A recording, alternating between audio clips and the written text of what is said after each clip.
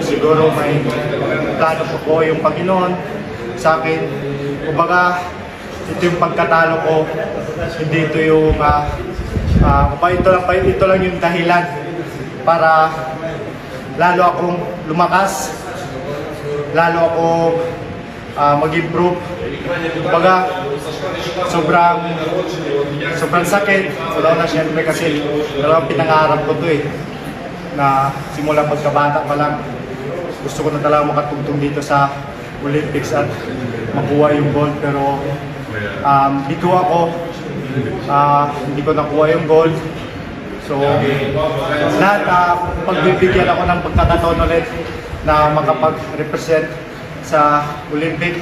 Uh, i-grab ko yung opportunity kasi hanggang ngayon pangarap ko pa rin na makakuha yung gold sa Olympics So ayun, uh, papasalamat na ako sa buong Pilipino na sumusuporta sa akin, naniwala sa akin na kaya ko ito, yung pamilya ko, yung fiancé ko, si Princess, and then at uh, binabalik ko po ito lahat sa Panginoon na nagbigay sa akin ng lakas.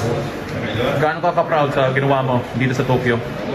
Um, um, masasabi ko, binigay, binigay ko po yung lahat, yung, yung best ko para makuha dito sa Olympics. Kaya hindi ko po pinagsisihan kung ano mga nagawa ko. Siguro may pagkukulang, pero gagawin ko po yung lahat para magbigay pa ulit ng karangalan sa bansa natin. Message to the Philippine Fight fans at mga sumuporta sa iyo? Ah, sa lahat po ng mga sumusuporta sa akin, nagdasal sa akin, maraming maraming salamat sa inyong suporta, sa tiwala, at uh, mabuhay po kayo, mabuhay po yung Pilipinas.